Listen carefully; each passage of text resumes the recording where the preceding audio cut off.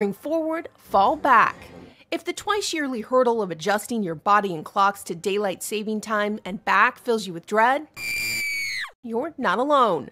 But it's more than just mental. Science shows it takes a physical toll. Heart attacks occur at a higher rate uh, during that Monday morning and also throughout that week. Blood pressure uh, goes up. There are also safety consequences such as car accidents, especially deadly car accidents, occur at a higher uh, rate. And there are the less serious but still noticeable consequences like fatigue and just generally feeling out of whack. So, what do we do?